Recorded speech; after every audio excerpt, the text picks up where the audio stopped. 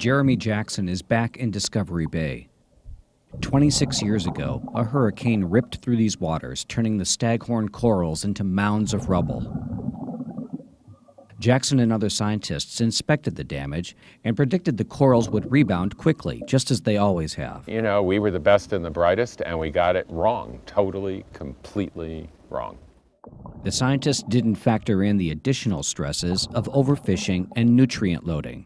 As a result, Jackson spends most of his homecoming dive picking the weeds that have taken over his reef. All of those elkhorn forests are gone, and all of those staghorn forests are gone.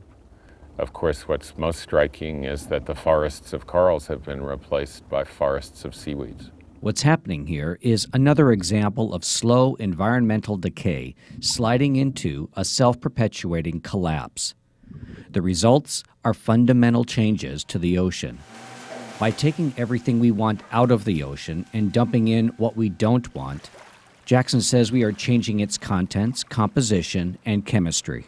This is a time of very great change. It's a time of great opportunity and a time of great risk because things are really, I think most of us believe, at a kind of tipping point.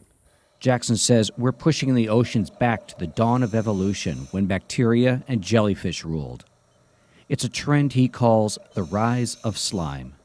I can imagine an ocean that would be a continuous dead zone along all the coasts.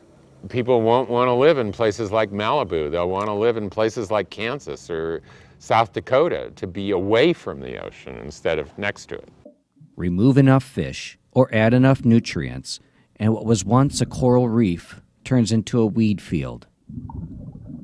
A kelp forest becomes an urchin barren. Walking on a sandy beach becomes a slog through drifts of seaweed.